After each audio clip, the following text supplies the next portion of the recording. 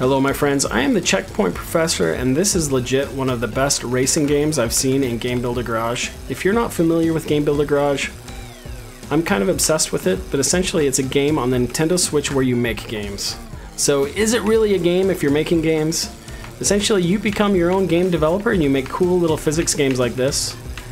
I'm getting a little bit better at this one. We're going to see if we can make it through the first lap. Um, if you are a Game Builder Garage developer, feel free to share a game in the comments. I'd love to play it and uh, show it off. Everybody, thanks for watching. We'll see you in the next video.